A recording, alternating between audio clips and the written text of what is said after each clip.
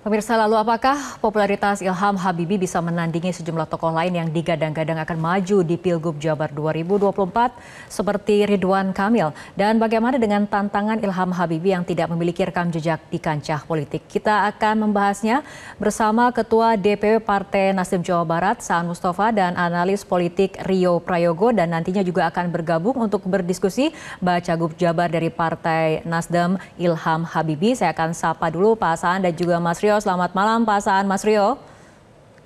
Malam Mbak Fitri, Mas Rio. Halo Fitri, siap Saan. Oke, saya akan mulai perbincangan dari Pak Saan terlebih dahulu. Pak Saan, mungkin banyak yang tidak menduga keputusan Nasdem merekomendasikan Ilham Habibie untuk maju di Pilgub Jabar 2024. Tapi apa sebetulnya yang menjadi pertimbangan utamanya? Ya pertama gini, kita kan membutuhkan figur-figur baru ya. Figur-figur baru figur-figur yang memiliki apa rekam jejak yang publik tidak meragukan lagi.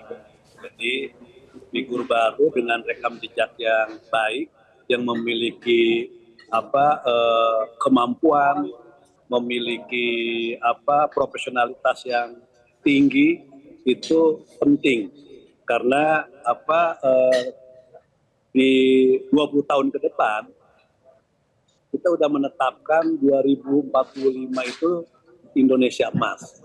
Nah itu bisa dicapai kalau kita memiliki figur-figur baru yang bisa menjadi alternatif pilihan dari masyarakat. Itu satu lah untuk apa kenapa kita Pak Ilham. Nah yang kedua apa eh, kita meyakini Pak Ilham dengan track recordnya dan sebagainya dia punya juga historis dengan Jawa Barat jadi selain soal kemampuan, soal kapasitas, soal profesionalitasnya, dan dia juga punya historis dengan Jawa Barat. Ini juga menjadi apa eh, dasar pertimbangan kita untuk mendorong Pak Ilham maju di Jawa Barat. Selain pemikiran-pemikiran Pak Ilham tentang Jawa Barat untuk menjadi jembatan menuju Indonesia Emas. Jadi okay. ini juga menjadi apa uh, daya tarik tersendiri buat Partai Nasdem. Makanya putusan mengambil apa Pak Ilham menjadi calon yang diusung Nasdem itu dengan pertimbangan-pertimbangan seperti itu. Oke, dan langsung saja kita akan mengetahui ataupun bertanya kepada Bapak Ilham Habibie, bakal calon gubernur Jawa Barat 2024 yang telah bergabung berdiskusi pada malam hari ini. Selamat malam, Pak Ilham. Malam. Baik, uh, Pak Ilham, kenapa Anda kemudian tertarik untuk terjun ke dunia politik dan memutuskan untuk maju ke ataupun maju di Pilgub Jawa Barat 2024 ini bersama Nasdem? Iya, ya baik. Uh, pertama ketertarikan saya adalah karena saya mau bantu Jabar uh, sebagai provinsi terbesar di Indonesia yang lengkap dengan apa apa pun yang diperlukan oleh Indonesia menjadi negara maju, menjadi emas, di Jabar itu semuanya ada. Jadi oleh karena itu saya tertarik uh, dalam pencalonan atau juga pilgub di Jabar. Ya, hmm. jadi itu adalah utamanya. Jadi bukan karena saya mau berpolitik, tapi politik kan adanya tujuan. Tujuan adalah untuk menjadikan Jabar menjadi ujung tombak daripada Indonesia emas. Hmm. Oke, uh, Anda kemudian tidak khawatir jika kemudian harus bertarung dengan tokoh-tokoh Jawa Barat yang kemudian sudah memiliki elektabilitas yang tinggi dan juga memiliki rekam jejak di Jawa Barat seperti nama-nama Ridwan ya. Kamil misalnya. Ya baik. Kalau pertarungan atau persaingan adalah bagian daripada hidup kita. Apakah saya ini adalah seorang entrepreneur atau seorang akademisi atau juga aktivis di mana-mana kita harus bertarung. Jadi bertarung itu ya bagian daripada hidup. Jadi bahwasannya memang karena saya masih baru di dunia ini, tentu ada figur-figur tokoh-tokoh yang lebih banyak track recordnya di bidang ini. Jadi tapi buat saya itu bagian daripada perjalanan. Jadi tidak menjadi masalah atau tidak menjadi satu hal yang membuat saya tidak mau uh, menempuh jalan ini. Oke, tapi kan waktu pelaksanaan Pilkada Jabar ini semakin dekat, uh, Pak Ilham. Apakah ada upaya khusus untuk menandingi elektabilitas ataupun bahkan meningkatkan elektabilitas untuk kemudian meningkatkan juga uh, uh, elektabilitas Pak Ilham di warga Jawa Barat? Saya kira itu dalam hubungan itu tentu saya uh, harus juga bekerja sama dan mengenakan kepada partai politik dalam hal ini Nasdem dan kemudian juga kemungkinan besar ada koalisi. Jadi semuanya akan ada kaitan dengan itu uh, dan seperti kita ketahui bersama ada kegiatan yang mengharuskan adanya kehadiran fisik. Tentu di abad ke-21 ini ada strategi digital online dan tentu kita juga harus bicara dengan uh, boleh dikatakan tokoh-tokoh yang uh, masyarakat, agama dan lain di Jawa Barat yang mungkin akan menjadi uh, seperti multiplikator atau promotor untuk diri kita. Ya, saya kira itulah kurang lebih elemen-elemen yang saya saat ini bisa pikirkan. Dan tentu kerja dengan media itu hmm. juga satu hal yang penting sekali. Oke, baik. Saya akan ke Mas Rio terlebih dahulu. Mas Rio, uh, Ilham Habibi ini ataupun akan menjadi tokoh ataupun figur baru dalam kancah politik dan kemudian akan maju di Pilgub Jabar. Bagaimana ini akan direspon oleh parpol-parpol lain dan bagaimana ini akan apakah akan diterima oleh para pemilih terutama di daerah Jawa Barat? Oh, baik Fitri. Jadi pertama, saya juga cukup terkejut ya ketika uh, Pak Ilham di di apa namanya disonding ke publik oleh Partai Nasdem. Nah, lagi-lagi Partai Nasdem memberikan kejutan di dalam membuat grooming ya tokoh potensial uh, secara nasional begitu ya. Lalu-lalu uh, juga banyak kan tokoh-tokoh itu benar-benar disodorkan oleh Partai Nasdem kepada publik. Kali ini Pak Ilham yang tidak pernah terbaca bahkan uh, pergerakan politiknya itu di uh, di apa dilempar oleh Nasdem ke publik dan cukup mengejutkan. Nah, selain sosok yang segar, tentu ini juga memberi satu uh, perspektif kepada kita uh, sebagai uh, publik gitu ya bahwa uh, Nasdem atau partai politik itu tidak hanya menggunakan pendekatan elektabilitas atau pendekatan survei tapi juga benar-benar memikirkan hal-hal yang dibutuhkan untuk satu daerah atau sedalam konteks kepemimpinan eh, regional misalnya di provinsi Jawa Barat dalam konteks ini. Ini menarik gitu ya. Meskipun tentu Pak Ilham sebagai sosok yang baru ini punya handicap di dalam popularitasnya.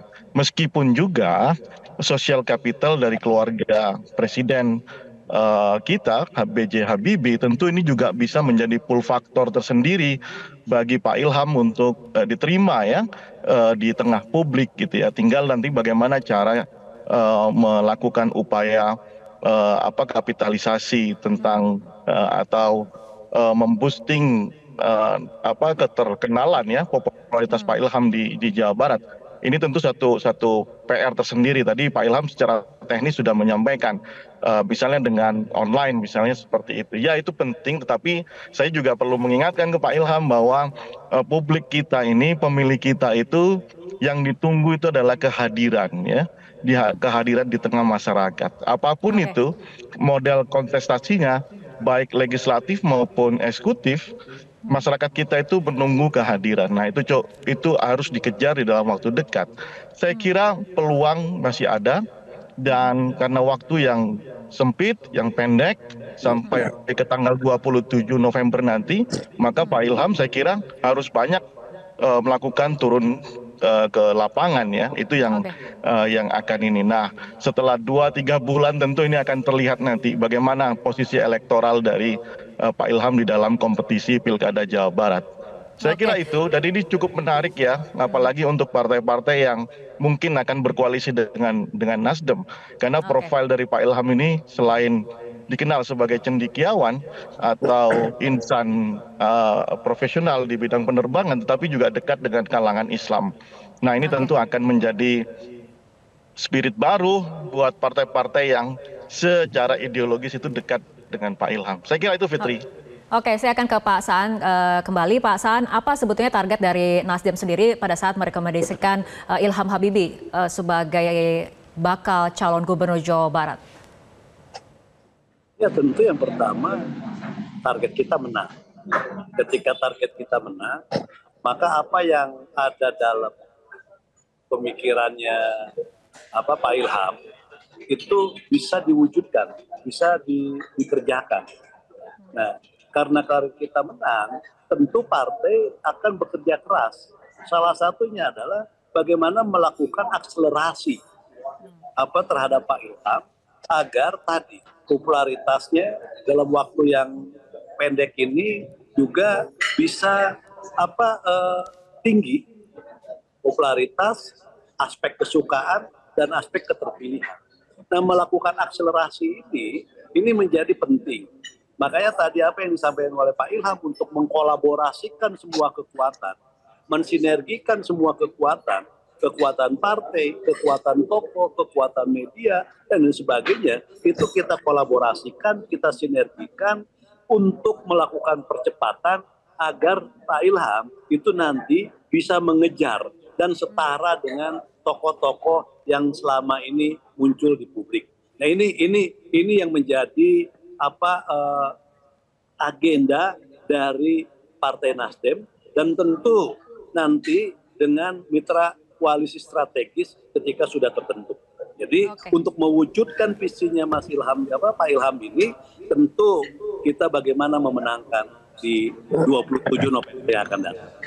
Baik, Pak Ilham, ini mengenai tantangan. Uh, anda sendiri yeah. kan dinilai belum memiliki pengalaman dalam pengelolaan pemerintah.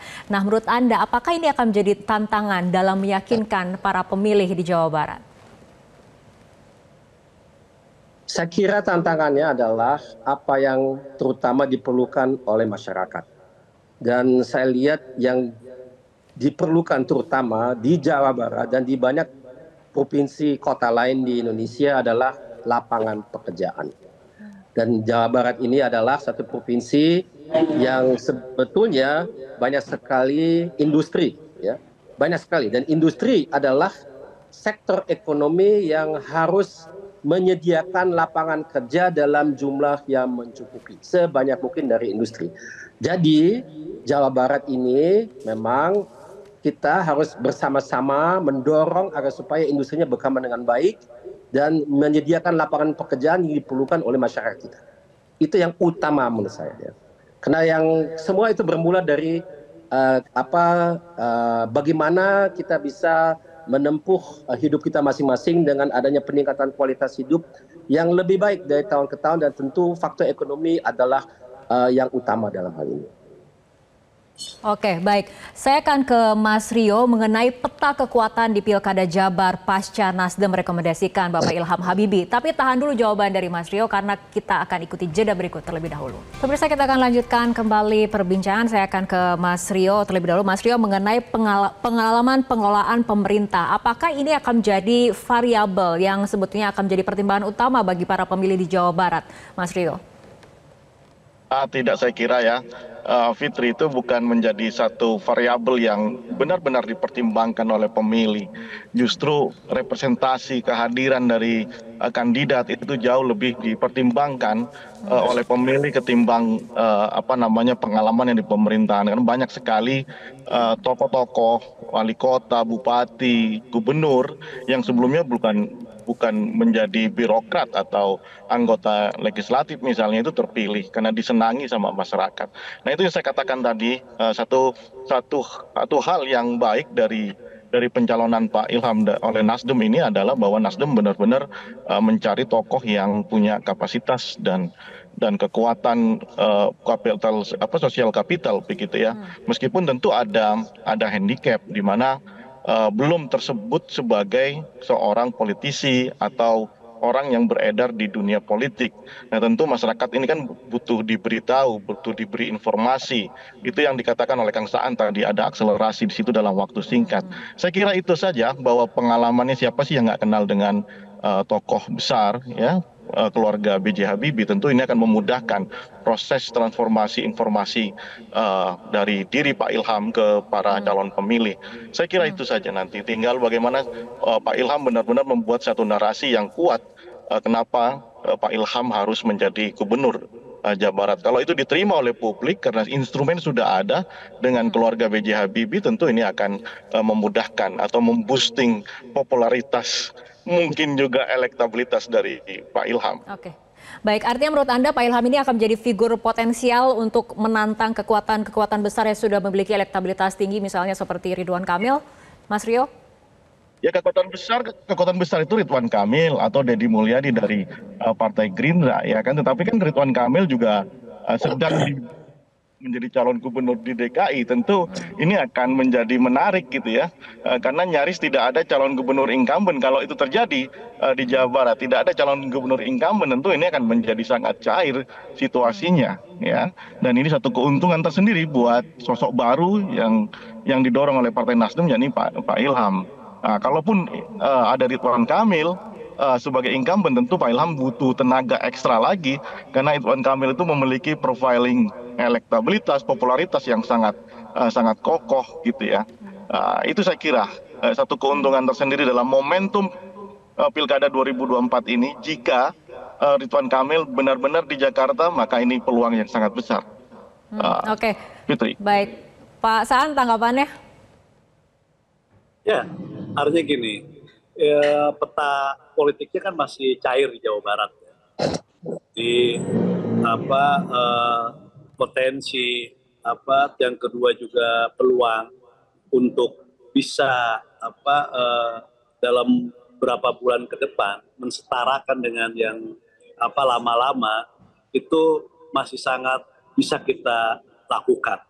Apalagi nanti pilihan dalam melakukan mitra koalisi yang strategi, mitra koalisi strategis ya, itu juga sangat menentukan nanti faktor akselerasi buat Pak Ilham dengan pasangannya. Jadi sekali lagi probability untuk bisa apa berkompetisi setara dengan apa eh, calon-calon yang lain kita masih apa masih ada peluang dan potensi. Jadi sekali lagi optimisme apa itu selalu terbuka.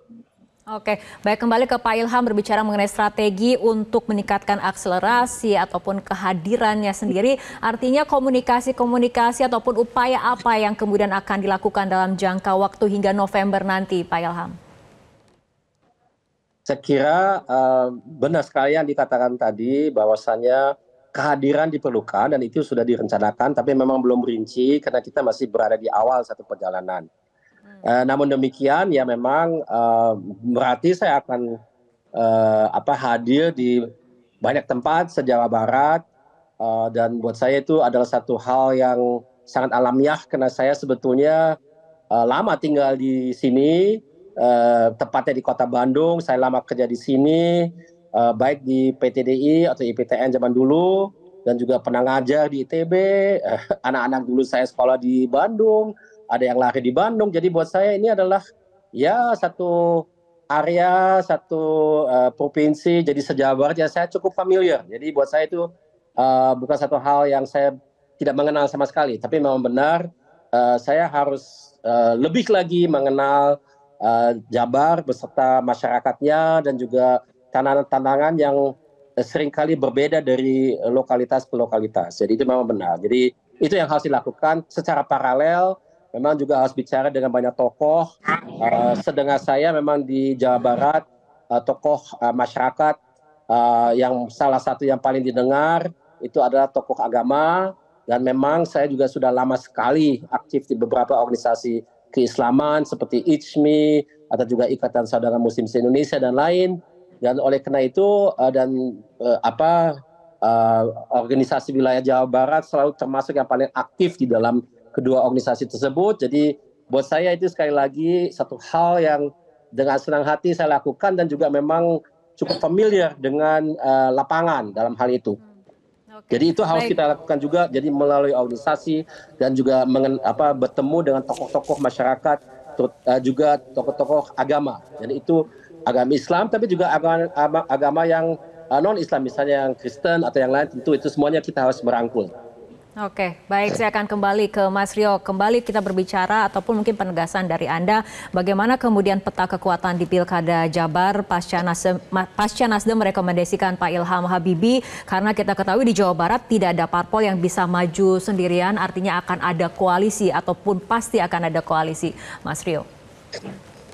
Iya, Fitri. Jadi uh, kalau di Pilkada 2018 kemarin, hampir semua partai itu punya kandidatnya sendiri. Ada empat pasangan dan itu sangat kompetitif. Nah, saya lihat nanti tentu akan bagaimana melihat uh, pola relasi koalisi yang terjadi antara Nasdem misalnya dengan partai uh, PKB, PKS atau partai dengan partai lainnya atau uh, dari Gerindra yang uh, kabarnya akan memajukan uh, Deddy Mulyadi mantan Bupati Purwakarta ya kita lihat nanti seperti apa. Tetapi saya menduga tidak akan lebih dari uh, tiga pasangan ya uh, yang yang akan terjadi. Karena uh, kenapa? Karena kita lihat koalisi ini akan terbangun di banyak tempat ya. Di banyak hampir lima 540 kalau tidak salah pilkada di Indonesia. Tentu ini juga akan saling berkaitan uh, antara satu tempat dengan tempat yang lainnya, satu provinsi dengan provinsi yang lainnya, satu kabupaten dengan kabupaten yang lainnya. Nah, relasi komunikasi yang terbangun ini, ini turut juga menentukan uh, satu titik misalnya di Jawa Barat atau di titik yang lainnya di Sumatera gitu ya, sehingga energi ini akan terbagi di banyak wilayah. Nah, ketika energi itu terbagi di banyak wilayah, maka yang terjadi apa? Apa ada kompromi politik di situ sehingga proses pembentukan koalisi menentukan calon itu akan selesai di tingkatan elit dan itu akan menyimpan banyak banyak energi. Apalagi setelah uh, terjadi apa setelah kita melalui uh, pilpres dan pileg yang cukup melelahkan. Saya kira uh, tidak akan banyak pasangan calon dan sekali lagi selamat buat Nasdem luar biasa. Oke baik. Terakhir kita ke pasangan pasangan berbicara mengenai koalisi ini rencananya seperti apa komunikasi komunikasi yang dilakukan dengan parpol parpol lain seperti apa untuk kemudian sama-sama merekomendasikan Pak Ilham Habibie sebagai bakal calon gubernur Jawa Barat. Ya Nasdem sendiri sudah membangun apa uh, komunikasi ya dengan partai-partai yang ada di Jawa Barat dan tentu juga di level DPP juga dilakukan komunikasi. Jadi kita melakukan komunikasi intensif dengan partai-partai seperti PKS, dengan PKB, bahkan juga dengan Gerindra. Kita lakukan komunikasi intensif dan kita tidak akan kesulitan insya Allah untuk mendapatkan mitra koalisi strategis. Jadi saya berkeyakinan uh, Pak Ilham bisa berlayar untuk ikut kontestasi di Pilgub tanggal 27 November yang akan datang. Baik, kita tunggu saja bagaimana langkah ataupun komunikasi dan strategi politik ke depannya. Terima kasih Pak Saan, Pak Ilham, dan juga Mas Rio telah berbincang bersama kami malam hari ini dalam Prime News. Jelajahi cara baru mendapatkan informasi. Download Metro TV Extend sekarang.